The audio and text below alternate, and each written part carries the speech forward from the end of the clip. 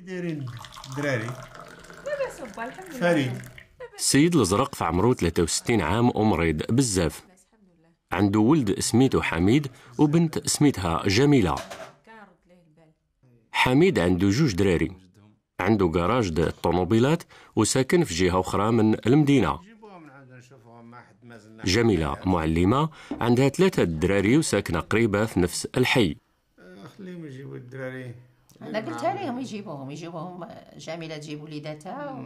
منين لاجرك واش نمتو في السبيطار داروا له واحد العدد د الفحوصات كنتش هكا طبيب الدار كيزورو بزاف د المرات باش يشوف كيف دايره الحاله د السيد الازرق لو كان جبرت ما نوضش من هنا Hij voelt zich niet goed. Hij is heel erg moe. جميلة كتحكي لطبيب الدار على اللقاء ديالها مع الطبيب الأخصائي في السبيطار واللي خبرها باللي باها عنده السرطان في الرية والمرض تسرب له كذلك في مختلف الأعضاء الأخرى في الذات ديالو.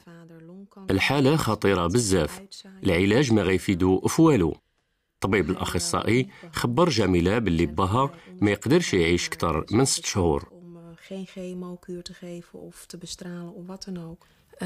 كنت خايفة بزاف بلي آه، با يكون عنده شي مرض خايب وهاد ال- الخبر اللي سمعته اليوم بالنسبة ليا صدمة كبيرة.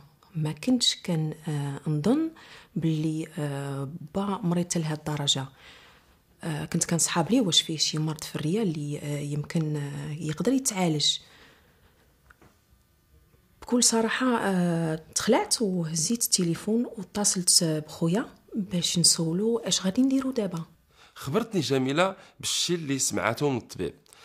كنت خايف باللي عنده شي حاجة خطيرة. أختي قالت لي كيخصنا نقولوها ليه. نقول ليه باللي عنده مرض آه اللي ما يمكنش عادي يتشافى وباللي غادي يموت. لكن أنا متفقش معها كيبان لي حتى ما ما يخصهاش تعرف بهذا الشيء هي حنينة بزاف وما تقدرش تحمل بهذا الخبر أنا كيبان ليا باللي آه، خصو يعرف آه، أشنو كاين. لحقاش من حقه يعرف. في الأيام الماجية غادي يلاحظ وغادي آه، يعرف باش آه، كاينة شي حاجة. إذا ماشي آه، ممكن باش نخزنوا عليه وهو في الآخر يكتشف باش آه، ما قلناش ليه الصراحة. لما يعرف الواحد أنه غادي يموت فعلى الأقل ما يبقاش يتصارع باش يعيش. كان عرف واحد السيد اللي كان عنده السرطان. هذا الرجل ما دازش عليه ثلاث سيمانات حتى كان مات.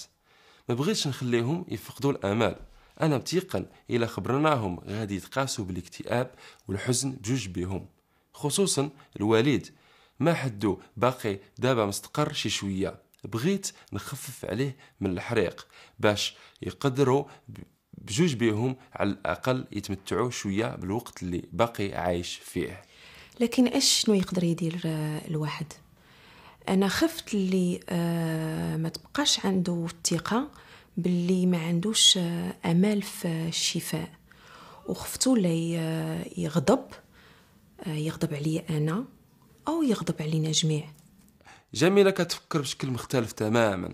أنا تخاصمت معها على هذا الشيء. أنا عارف أنه إلا خبرناهم العائلة كلها يمكن تغضب. غادي يقولوا ما خصكمش تحيدوا له الآمال. وعلى أنه هكا ما يقدرش يتغلب على المرض وعلى أنه حنا أولاد ماشي مزيانين. عادي بحال هذا الشيء عارفة باللي الله هو اللي كيقدر وقتاش غادي يموت كل واحد منا. ولكن باش يكون مريض بواحد المرض اللي هو ما كيتعالجش والأطباء ما بقاوش قدروا يديروا ليه أكثر أنا كنظن باللي خصو يعرف الصراحة. باش على الأقل يوجد راسو الرحيل عند سيدي ربي وباش آه، يقدر الا بغى يخلي شي وصية أو بغى يشوف شي واحد اللي بغى يتسامح معاه أو عنده شي حوايج آخر اللي خصهم يريقلهم ويقدر أو كيخمم ويشوف فين بغى يموت. واش بغى يموت آه، في المغرب في بلادو أو بغى يموت هنايا.